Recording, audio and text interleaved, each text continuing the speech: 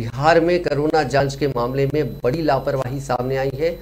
समस्तीपुर में दो दिन पहले एक हेल्थ वर्कर ने एक पॉजिटिव शख्स का सीरम एक ही इलाके के 115 लोगों के अलग अलग नाम से आरटीपीसीआर जाँच के लिए भेज दिया। इससे सबकी रिपोर्ट पॉजिटिव आ गई, इसके बाद वजारत सेहत में हड़कंप मच गया।